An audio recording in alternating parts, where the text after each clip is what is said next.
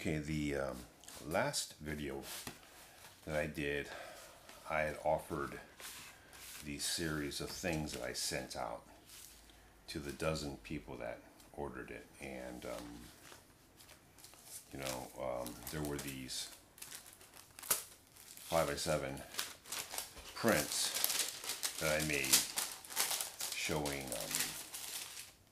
um, um, fine prints that I wanted to give you as an example. There was this before and after um, unmasked and masked so that you could see how this was opened up without losing the blacks when you did the masking. I also included a description of um, how I processed and how I shot it with the zones and stuff and the resulting graph that it made so that um, it would make sense how I came. And then the masking portion um, is demonstrated by making one print with the mask and one print without the mask. But then I also included this, and this is a brief description of how to use this. And this, and I didn't mention this because I don't have that many of these, and um, but I make, I made this 21 step tablet, which is large enough to be easily measured on a transmission densitometer. And when you make a contact print, um, this print is easily measured with a reflection densitometer. And there are 21 steps. And um, it covers a density range of 1.65, which is what I determined to be um, the minimum density range or that you want you want at least 1.65 in order to get white to black. And so when I make a print from that, a contact print, this is white. So I try to make this the same density as unexposed paper after it's processed. And I can just barely see step two. It's a little bit darker than that, maybe only one point on the density, but that's what I'm looking for, just that one uh, step separate. And obviously it gets clearer. And then this is black, and then this is just a little lighter than that. Now this is um, well, so this is what I use as my standard negative. And I thought I would talk about um, how to make a standard, how to use a standard negative. And in conjunction with this um, video lesson, I thought I would show you how to to to use a standard neg negative in a practical manner. And um, it was recommended to me that I try the FOMA paper from Eastern Europe. Um, not only did someone recommend, one of the people watching my videos recommend this, um, he was, but also I read a paper um, talking about Bruce Barnbaum write, writing about this. So he said it's the, his uh, the best paper he's ever used. So that convinced me to try it. So um, I ordered that, and it took over a month to get here uh, to San Francisco. I had to order from New York, but New York had to wait a few weeks before they got it. um, I was told that um, it resembled the old Agfa paper, which is no longer. Now, my favorite paper of all time is Agfa Portriga. So I was really excited to get this paper and see if it was like Portriga. Now, um, the Portriga paper, um, I've had uh, on my wall a print from on my wall for like 40 years now, and next to a paper, next to the Galleria paper, which is the Ilford Gallery paper. So I had a really good idea of how long Portriga, um, how stable it was compared to the Ilford Galleria paper after 36 years on my wall. Um, I was able to take those out of the frame and measure it again. It's in one of my videos I actually show this, and I know for a fact that the uh, the, the the Ilford paper was not a multi-grade. Back then I used the Gallery, it was a grade 2 paper. But I was able to achieve a 2.4 black after toning, which is a very good black. Now the Portriga went to 2.5, and it didn't seem like, you know, it's 10 points more, so not a big difference, but it was a difference. So I, I wrote that down and I, I notated on the back of the print. And um, after 35 years hanging it up in my bedroom, and as I moved from place to place, I would bring, but it's always been displayed, so it had indirect light, not directly in the window, but indirect light. After 36 years, I took it out of the frame and I measured it. 2.4 had uh, become 1.9. So even selenium toned, it faded, but it still looked good. You can't really see that it's faded. I mean, the densitometer saw that. But the Portriga went to 2.35.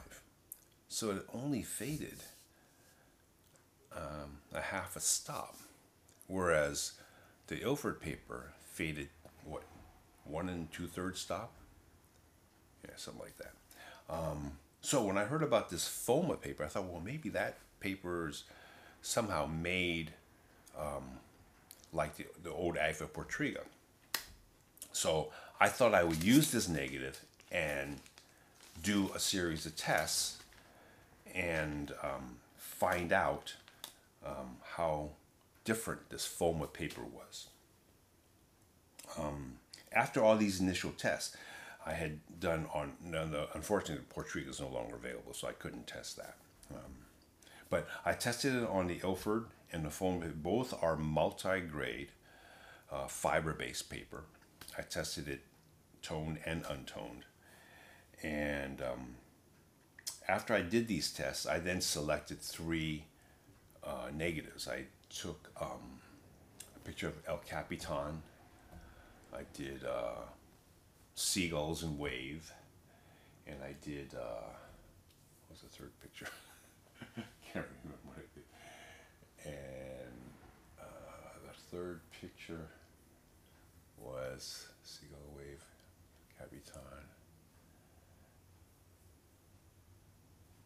anyway, I, I, took three negatives that I had printed before and I reprinted it onto the FOMA paper. And then after I washed it and dried it and toned it and everything, I put it side by side and looked at um, the prints I had made on Ilford paper. And um, I would say that the FOMA paper is a very good paper. Um, I'll say that right off the bat. Um, but this lesson is on how I use the standard negative to come up with um, my uh, results. Now, the first time I heard of using a standard negative um, was actually when I started learning color printing. In color printing, you've got um, a color negative that has three layers of emulsion, so it's even more critical to have a standard in color. Um, for many, many years in black and white, I never had a standard. I never, never heard of it. I never thought of it. I never.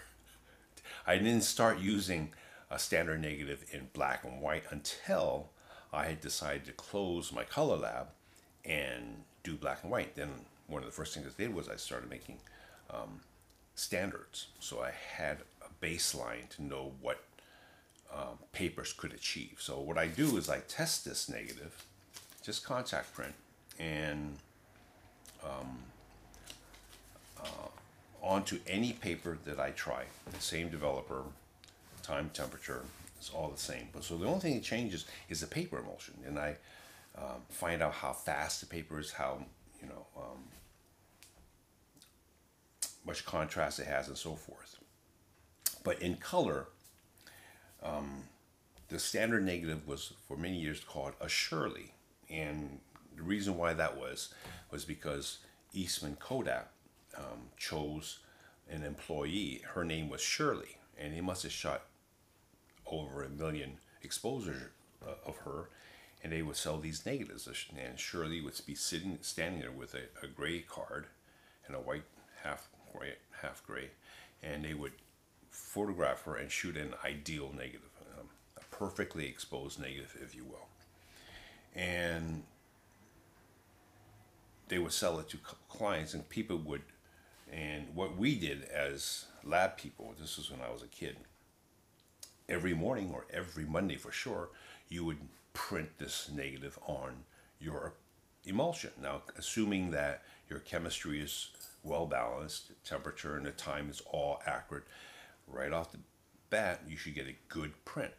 If it drifts, you correct the exposure, maybe you adjust the color, density, and you you run with that. And customer negs are compared with this Shirley.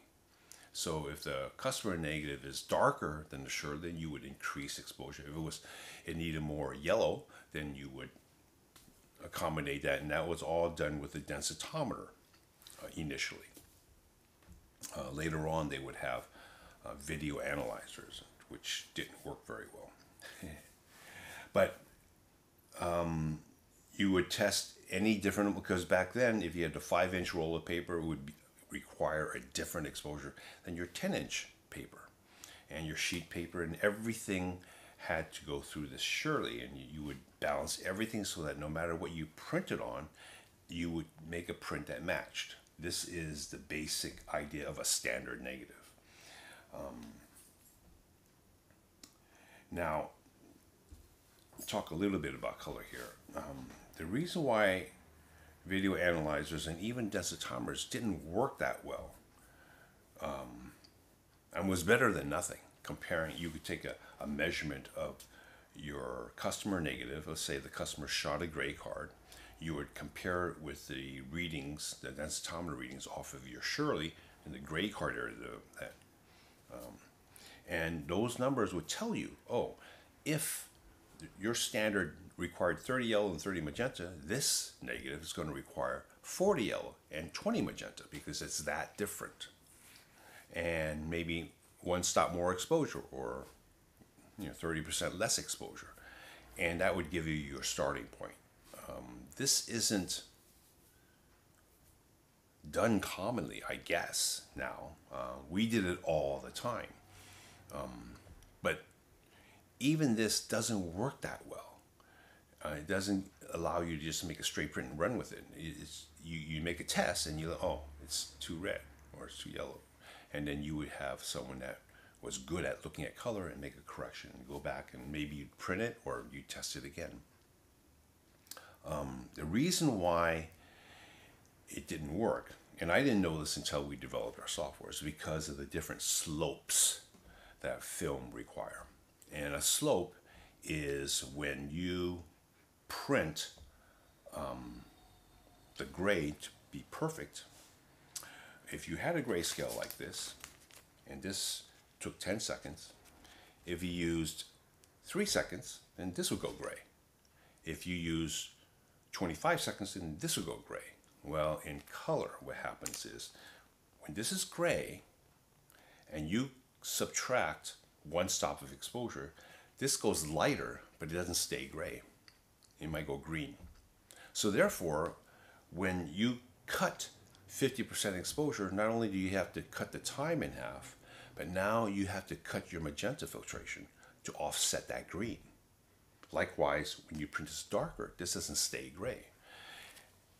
The only negative that I ever used that did that well was a negative I made. And that was what our software did. That was what PS1 did we made recommendations on how to make a negative from a transparency. We used the transparency grayscale and we drew out these curves on a computer and it told you how to adjust the exposure so that you made a perfect neg. Um, the density range would be ideal and the grayscale would be ideal. When you had a perfect neg and you cut the exposure, then indeed that gray area, um, that lower step would remain gray even the blacks would remain gray. The whites would remain gray. Um, if anything, it would tweak maybe two points in an enlarger. The closest commercial film that did this well was the old VPS, and that was a later emulsion of the Vericolor Professional Short Exposure. VPS film did that well. Um, now, the probably the best film is your natural color film by Kodak.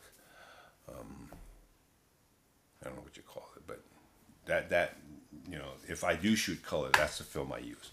Um, films that exaggerate the color that is very the slopes are very bad. So therefore, when you measure uh, the differences between your standard neg and your neg or your custom neg, that slope will throw your um, readings off, and you can have offsets, and that's what our PS analyzer did. I wrote a software that accommodated a slope and so forth, as well as this. So, um, but working on that um, software uh, allowed me to finally make a perfectly color balanced color negative. And uh, it was not easy to do back in those days. We developed in the mid 80s, 1980s. But like I said, um, I never used a black and white neg as a standard in the darkroom until I uh,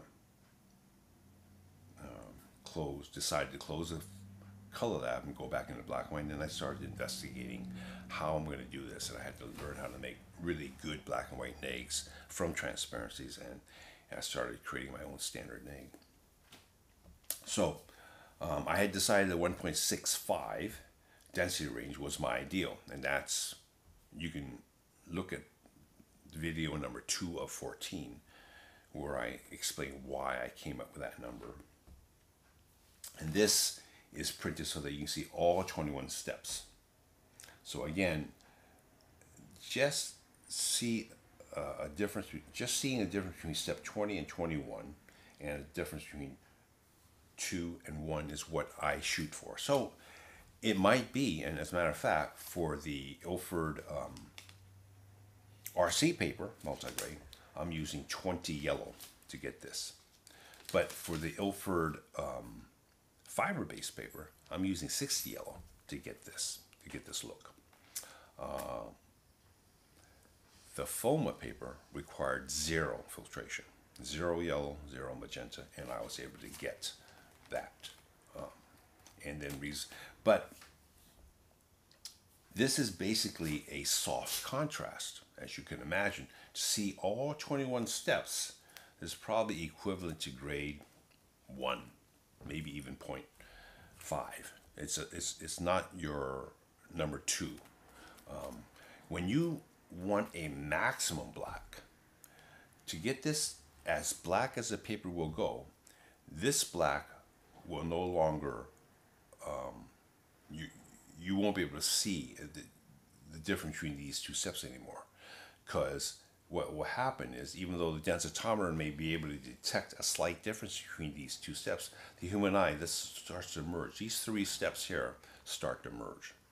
So um, even though i do this as a way to determine my um, grade one, I don't really use this filtration for most of my negatives because I want a Dmax on my print in the image. Which incidentally, for Ilford paper, uh, the, uh, for this particular uh, RC paper, it's about 10 magenta is what I use as a for a number two grade. And I'm printing, when I make my proofs on RC paper, I'm about 10 magenta, 10, 12 magenta, okay? Um, but 20 yellow is what I used to make this, and this is what I record. So when I get a new emulsion from Ilford, because I buy like 195 feet of 44 inch paper, when I get a new roll in, I record the emulsion number and I run this test. And then I, I have it. I, I can see that, oh, this paper used 60, this one's going to require 50 or whatever. Instead of, you know, 10 seconds, it's going to take 12 seconds. And that just tells me um, of course, this is with the same dilution, same time temperature of the developer I'm using. And that gives me an anchor so that when I go back and I pick a negative that I might have printed before on that emulsion, now I'm going to, instead of, you know, 10 magenta, I'm going to use 15 as my, as my beginning point. Of course, you use your eye to make the final judgment, but this gives you a, a, a, a base to work from. And if I switch to Foma paper, then it's going to be totally different because the filtration is completely different. You compare 60 yellow with zero yellow, zero magenta. That's how big of a difference between Ilford and Foma is, okay? So this kind of information going from one type of film, uh, one type of uh, paper to another paper is called translating. So I can translate from one paper to another. And the more you do this, the more it makes sense. Right now, if it's new to you, um, it, you know, it takes some math, but it's not rocket science. It's not hard It's just basic uh, math. um, everything is done with the same light level. That's another thing. I have a light level meter, which I place on the easel. And when the darkroom is totally dark, the enlarger's on. I adjust the f-stop until the numeric value, what's the light falling on the easel, is the same. So I use that same light level all the time so that um, when I change from emulsion to emulsion, I know I'm getting the same amount of light. If I burn a light bulb, it doesn't matter because I can adjust and you can even uh, check your color uh, temperature of your enlarger with filtration and so forth. But I'm not going to get into that because um, I have to make a, a, separate video for color, um, how to how to convert densitometer readings to enlarger readings so that you have a basic starting point. This would be really helpful for people who are printing C prints in the darkroom. I don't know how they're doing it now, but it might take them many tests in order to get to the final color if they're not using a densitometer and a standard negative and an on easel meter. On easel meters, you can read red, green, blue lights and get a light level each separate um, reading through using scientific filters to block the sensor so that only red light gets through, only green and only blue. And then your dichroic filters will adjust to zero in each one of those. And then you can maintain not only the correct light level for the darkness and the lightness of your print, but for the color balance as well. Color analyzers are probably not sold anymore, but back in the day, they were $2,000 each. And so, um, but be that as may, that's all I'm going to say about that. Um, so, again, gaining your maximum black just to the point where it gets maximum black, that's what constitutes my normal. Okay, so when the black creeps up to here, it's too much. I don't need that. I just get this black so that no matter any more exposure, no, no matter how much more exposure I give it, it doesn't get any darker. You stop at that point.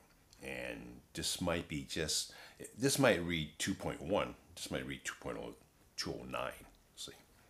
Um, incidentally, one of the things I found out is just talking about fiber paper, the Ilford multi-grade paper gave me about 2.1 to 2.12 black. That was the maximum black, untoned. Um, the Foma paper gave me about 1.99, 2.0 sometimes, about 2.0. So the Ilford paper does get blacker, which is important to me, okay? Also, the white, um, this was a little whiter. The, the Ilford paper was a little bit whiter, 0.01, 02 points whiter than the Foma paper. So the Foma paper really is a softer looking print. The blacks aren't as deep, the whites aren't quite as white.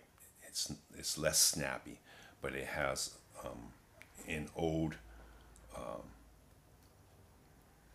look to it. it does in that way. It does look like the old papers, not only the old Agfa paper, the old Kodak papers as well.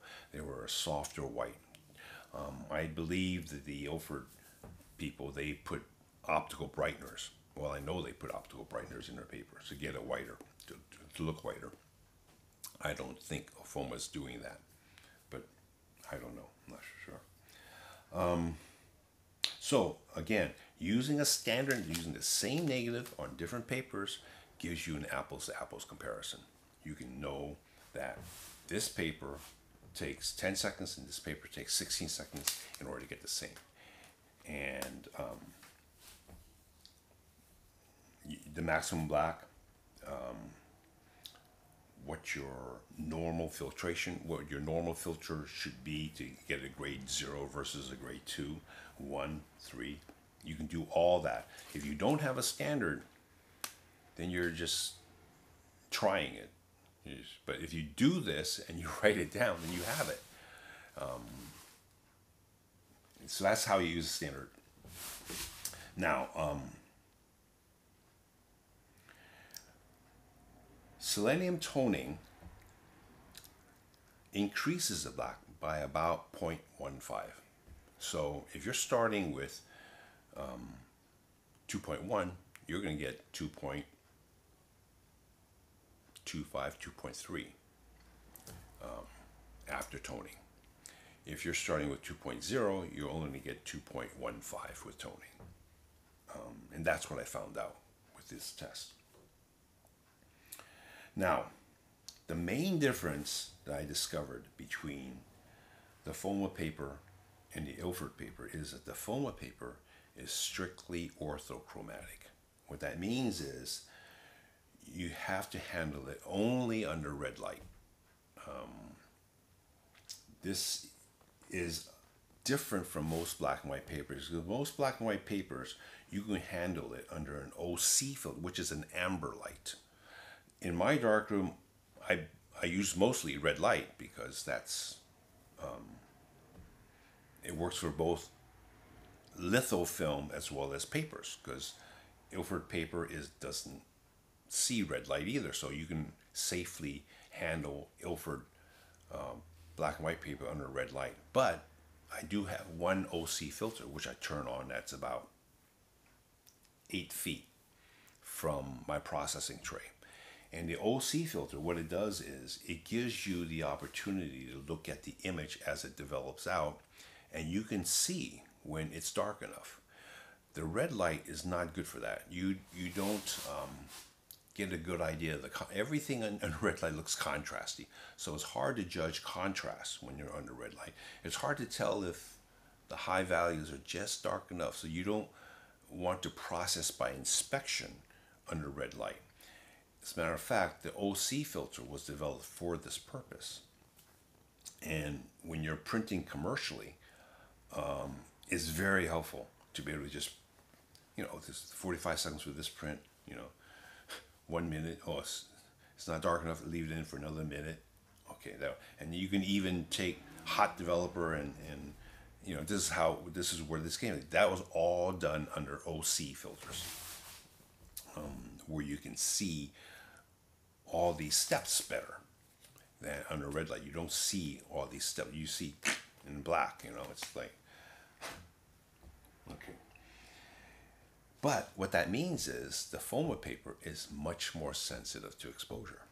Because if this is, if this is the light spectrum that we see, red light is this narrow. If you increase the OC filter, um, which is amber, brownish, if you will, is this wide. So Ilford paper doesn't see that because Ilford paper is not sensitive to, and Kodak paper and Fuji and Oriental, all those papers uh, don't see this.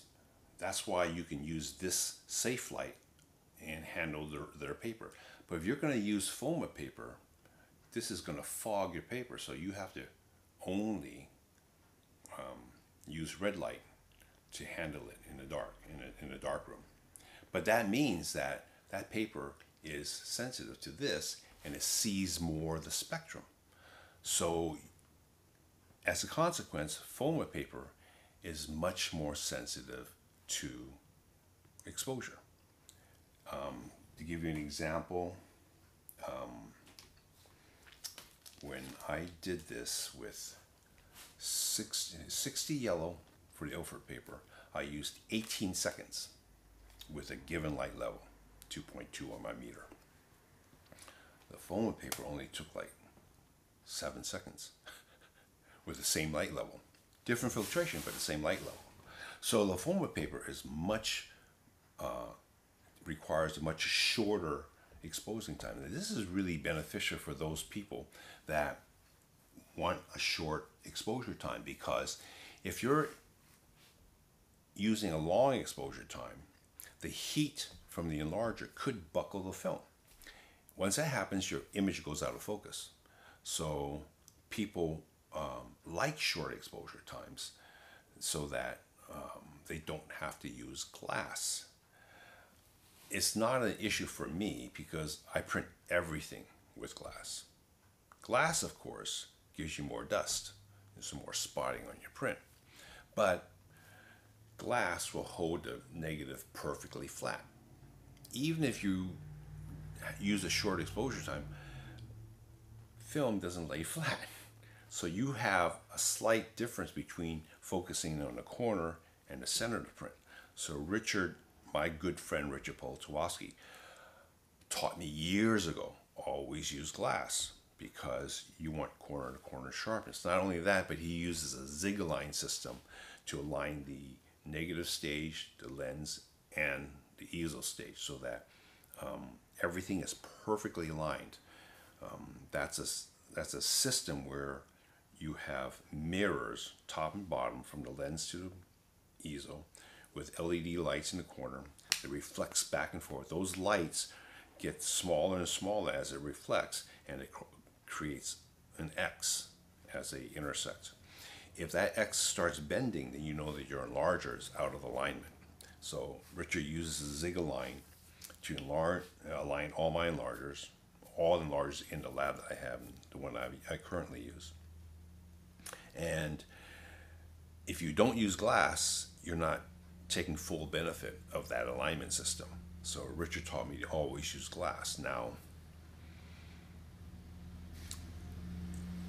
you've got four more surfaces to clean when you glass. So you have to be good at spotting. And you can't um, get away without any spotting, especially when you're making 20 by 24 or 60 by 20 prints. You're going to have dust, and you just get used to that. That's part of printmaking, spotting, good spotting technique. Um, of course, because I do masking, I'm required to use um, glass for most of my printing anyway, because most of the stuff I do, if it's worth printing, it's worth masking. So, um,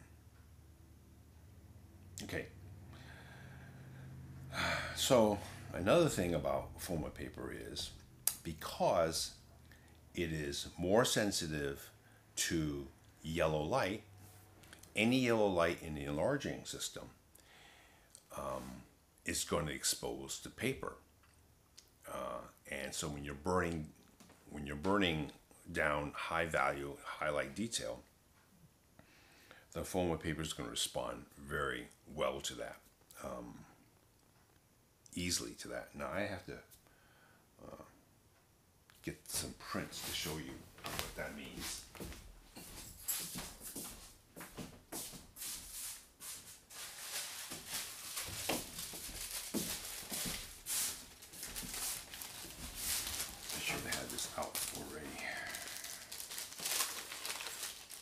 So I have all these made.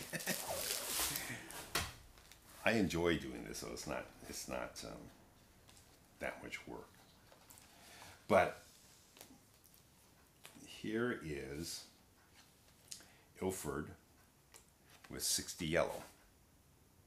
Okay, so I can see, and this this measures 0.04, this part of the ear.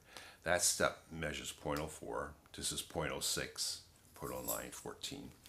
This is uh, 2.09, so almost 2.1 untoned. The FOMA, and this is 21 and a half seconds, okay? Uh, this is zero yellow, zero magenta. It's only 5.5 seconds. So one fourth the exposing time is this. It's very convenient to use this. This measured 0.05. This measured 0.07. So already I'm seeing a little, and when I look at it, I can't tell. It was a densitometer that told me that this is a little bit darker than this. 0.07, 10, 13, 17, 22. This is 1.97. Okay, but again, that's not your maximum black. You can get uh, you can get a little bit darker. Um, when I went to, I think 10 magenta, or that's another thing. It's very sensitive to um, changes in filtration. Don't forget, I'm using a dichroic filter uh, head, so I can dial in minute amounts of magenta and yellow. Oh, incidentally, a multi-grade, you probably do know this, but multi-grade paper has two layers of emulsion. In, in one layer is sensitive to green. So in order to, one layer is sensitive to green, the other one sensitive to blue. So in order to expose the blue layer more, you would decrease yellow and more blue light would go through the emulsion. In order to affect the green layer, you would use a magenta filter. So using magenta and yellow gives you different contrast because the blue layer, blue sensitized layer is a high contrast emulsion and the green uh, emulsion layer is a low contrast. Okay. Now, what I did here with a FOMA, okay, this is, um, I don't know if you can see this, but I, I just basically covered this with a cardboard and I gave 33% more. So after 5.5 seconds, I gave 1.9 seconds and exposed this area. And you can see that 0.07 became 0.09. But these steps are very soft and easily seen. And that's so, so this paper is really nice when you don't mind losing your whites.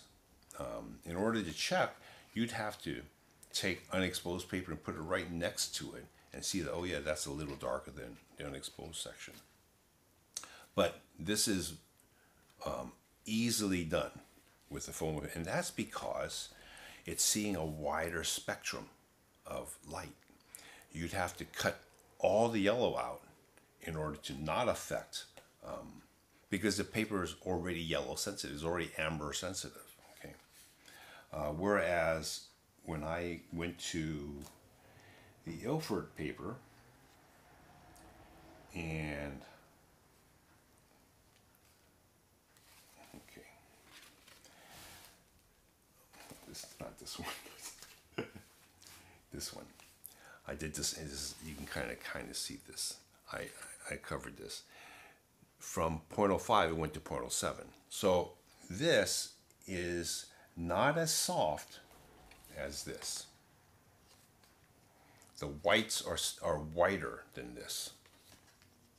This is the main difference between the two papers. Um, you can simulate this with the Ilford paper, and I did that with this one. This one is actually uh, my normal. Oh, this is with when I when you add yellow to the burning. So you make it with one one um, filter pack, and then you add yellow, and then you burn, and then you can go into the high values and soften it, um, similar to the FOMA paper. Okay. Um, yeah, not, there's a lot of tests here. The reason why is because I tested other things besides just the contrast and exposure of the paper. I tested toning. Okay. Um, I made this. and these this is Ilford paper, this is Foma paper, and I mount it on a cardboard and I put it in the window facing the sunlight, and I measure these things before I put it in the window, and I measured it after one and after two weeks. It's been in the window for two weeks now, so now I have some fading data to, to tell you. You may think that 0.1 is not much in terms of black, but the reason why maximum D max is important to me because I want my prints to last a long time. It's not a good idea, obviously, to put your prints in a window facing the sun every day, but um, it accelerates the fading. Um, to give you an idea, um, I have this one. this has been in window for a year and eight months. So, to give you an idea,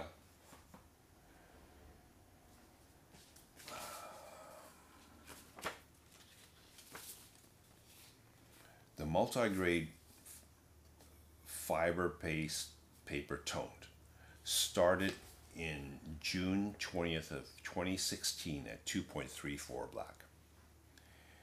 One year later, it measured 1.97. The whites didn't change nearly as much, but the blacks, you can see. And here it is, this, uh, October of this year, it went to 1.82. So now it's less than what it took um, 36 years on, on a bedroom wall. So I could safely say that one year in the window is equivalent to about 30, 40 years on your bedroom wall. Um, so that's what a standard negative can do for you. It can give you this kind of information. Now, let's go to this. Like I said, it may not make, may not seem like a big deal, uh, 0.1 black, but when you compare the, the Ilford paper with the Foma paper, my D max, the blackest black I got untoned on the Ilford paper was 2.09, about 2.1. Here I got 2.11 when I used 40 magenta. Um, the Foma paper, untoned, Uh, the D max I got was uh, where is it? Actually, this is all toned. Well, untoned is 1.95. Yeah, untoned. But when I tone it, I was able to get 2.2, 2.16 here, 2.15, 2.13. So I can almost, I can get um, 2.2 almost. But when I tone the Ilford paper, went to 2.3. Okay, now from 2.3 in two weeks, that became 2.2. So I lost 10 points in just two weeks. Whereas toned, it went from here 2.2 to 2.14. Lost six points here. This one lost five points. This one lost over 10 points, 2.19 to 2.07. So all those strips are giving me, it's not um, conclusive, but it gives you a, a, range of readings so you can make a general um, assumption that you're going to lose about two point, about 0.1, a third of a stop in just two weeks. In both the FOMA as well as the Ilford paper. Now, I mentioned that um, I like the Portriga because for some reason, in 36 years, it only faded half a stop. 2.35, that's darker than new stuff I'm printing now. you know, it's, I'll get it.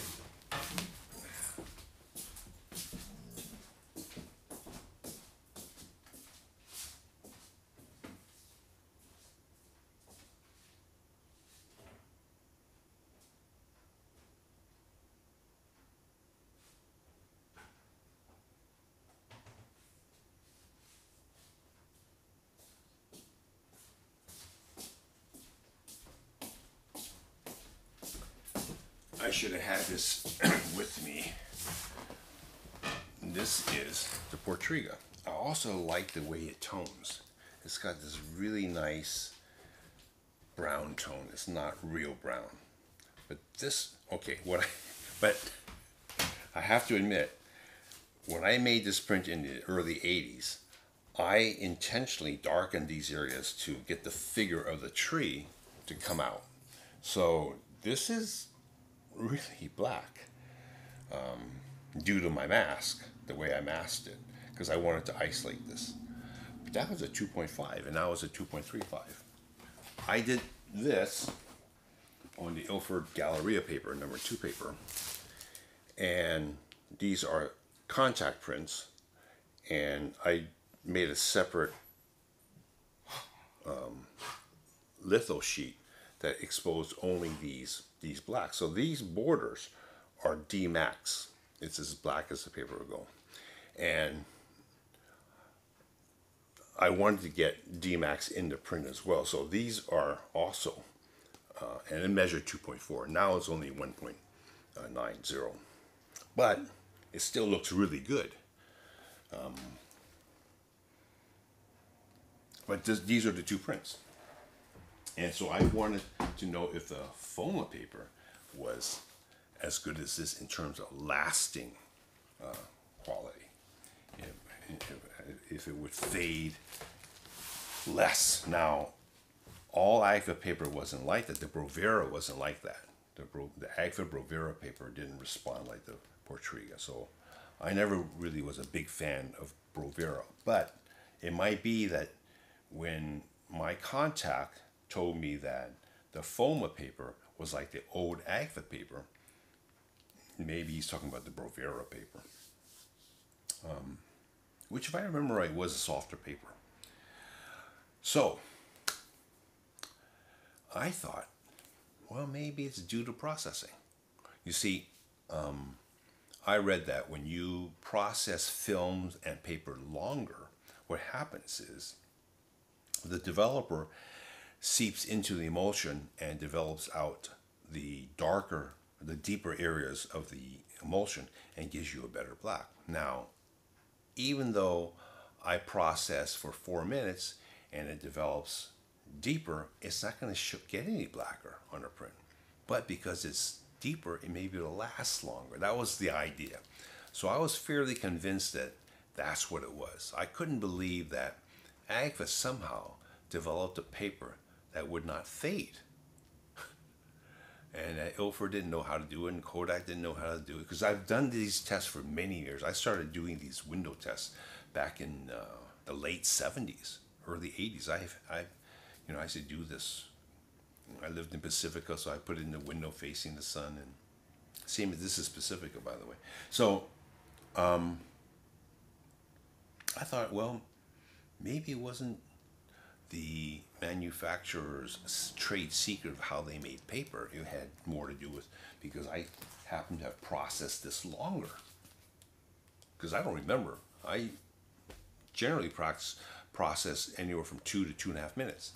And maybe I did this for four minutes. That's what I was thinking. So I did that with this. Some of these are what, two minutes. Some of these are three. Some of these are four minutes. And guess what? It didn't make a difference. so that's not it. Um, I also toned some for four minutes, two minutes, one minute, three minutes. That didn't make a difference. They all um, faded the same amount, no matter how it was toned. Obviously, certain papers, when you tone it longer, it changes color. Um, but the FOMA did not change color. It just didn't show that much difference. Um, uh, this is selenium toning, by the way. So this is what you can do with a standard negative. You can test these things out. Um, but what that means is I actually get um, in two weeks' time on the Ilford paper that's faded, it actually looks better than the FOMA paper when it was brand new. Now, what's that equal to? One year in the window. I won't know until I keep this up for one year. But it tells, and that's another thing. This tells me that whatever uh, was toned um, lasts longer than untoned, and any any of these grayscales that started darker remain darker, even if it took two years of fading. Whatever um, was, um, oh, the D max, it it it always was consistent. Uh, the lighter blacks faded more than the deeper blacks. So if you want your prints to match, and that's what I'm doing, I'm, I'm making prints that I want to last like a thousand years. I don't know, you know, I'm not gonna be here obviously, but if it falls in the right hands, people look and say, "Oh yeah, look at this. This is how it used to be here," and whatever. So I actually tested um, deviations in processing to see if it would fade less. And what I found out was, no, it doesn't. But anyway, this is an example of how to use a standard negative. Um, testing new emulsions, finding the contrast range, knowing the speed of the paper, toning differences, um, basic exposure information, whether it's soft like um, the FOMA or harder like uh, the Ilford paper. And you can equate it with previous emulsions so you can do this translation going from paper to paper so that if you wanted to print this negative and you didn't have this paper in it, but you have this paper, you can translate and you'll be that much closer on your first test. Um, if you're going to use a densitometer in conjunction with a standard negative, um, you need a light. You need a light meter. You need something on, um, like I don't have it here, but you, you know we have this meter where you press a button, turns on for like 45 seconds. It gives you a numeric readout depending on how much light falls on it. You turn your f-stop until you get the number you want, and then you're you you're the same. You've got the same light levels you had last week, last year, you know. And if you're making an eight by ten, you can do that. You take the take the negative out after you focus it and everything. Take it out, closing larger. Take a light level reading. So it's two point three. Put it back in. You make your print. If you want to make it 16 by 20, you enlarge it, turn the light, uh, take it out, increase the uh, f-stop until you get 2.3 again, and you use the same time, and it'll match. Uh, it's a benefit of a on easel. Another thing is you can measure um, 2.2, and you, you can lock your your um, lens at f8 at 2.2. You raise your uh, enlarger until it gives you that, and then you close one stop and you see what that meter. Now the meters should be calibrated to 0.3 equals one stop, but these are homemade by us, so they're not totally linear. So instead of instead of 2.2, when you increase your f-stop to f uh, 5.6, you might get 2.4. Um, that's one stop. You close it, you might get uh, 1.85 or 1.9, and then you know that's one stop away. And so you can use those deviations from 2.2 to know what one stop is or two stops.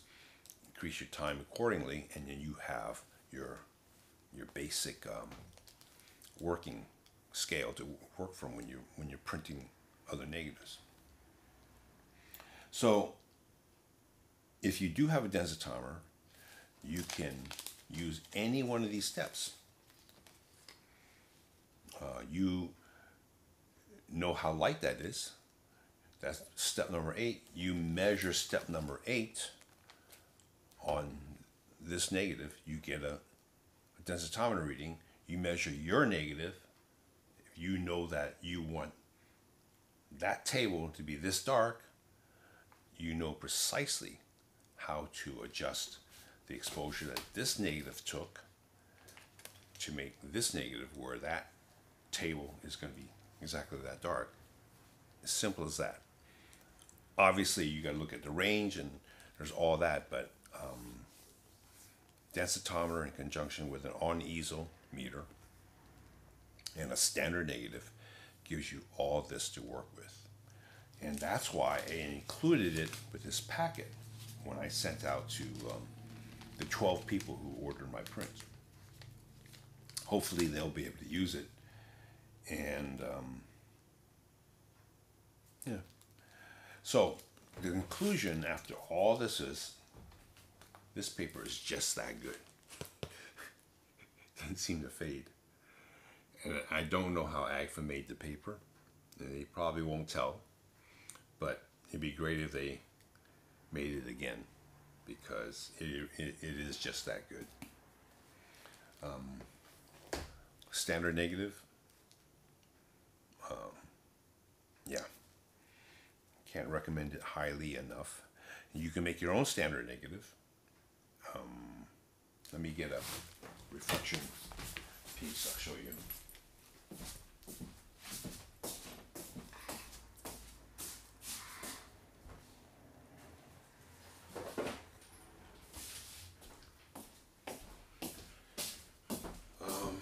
I don't know if they still sell these, but this is an excellent piece. Excellent, just kind of dirty now. But this is a Macbeth color checker. So this is what I used to make my standard negative in color. Um, I was able to make this gray, gray, gray, gray, gray, gray, just by exposure. By cutting my exposure, this would go to this density. By increasing exposure, this would go to this density and remain gray, okay, in color. Um, when I use this as my standard color negative, if I want a decent skin tone, I could take the densitometer readings off of the negative that produced this patch, whatever that reading was, I'd measure the skin tone of a customer negative, compare it to this, and say, oh, adjusted by this much, and then make your first test. And the skin tone of this negative would be close to this. If I wanted, um, most I use use gray, but this is for skin tone for gray. You know, there's a lot of things that are gray, sidewalks. You know, um, coffee maker. Uh, you know, you, you have all those measurements on your standard negative. You just measure those different areas and you have all that you compare with an unknown negative. The main problem isn't finding something in your customer negative that would be white or gray or light gray or dark gray. That wasn't the problem with slope. Most color negatives are not balanced. They're not made to be balanced. I don't know why that is, but the only one came close to it was Kodak with their old VPS. That was a very, very good film. Um, it seems like people went to saturated colors and they gave up the grayscale in order to go for saturated colors. That seems to be what happened. But anyway, that's my lesson on the standard negative and why I included it. And I would recommend that all of you shoot your own standard negative. Now, obviously, getting a 21 steps is not easy. This this wasn't easy to make, but and I didn't have that many. That's why I didn't when all, I was afraid I was gonna get like a hundred orders, and I have to make a hundred prints times four, and I didn't want to have a hundred of these, so I didn't include it. But since there was only twelve, I sent it out to those twelve. Okay. Um, yeah. Yeah. Now I I'll think about doing a similar lesson strictly in color and give you the math, um, how to do slope and, and all that stuff. But we, I actually wrote a PS analyzer, which we never sold. It was just written for my lab. And um, that's what I used. I would say, okay, this room one printed with this filtration, and what's this room five look like? Would translate and say, okay, print in room five, and use this filter pack and this exposure for room five. Oh, room five has a different emulsion. What does that mean? It would translate not only that, but it would translate the difference between these two emulsions. And so it's just simple math. It's long, but it's you know, and that's what our analyzer did. Besides taking measurements from the standard neg and comparing it to a customer neg and doing that as well. It was actually the one software we used the most was the analyzer. And we never sold any of those, but um, it was the best in, in hindsight.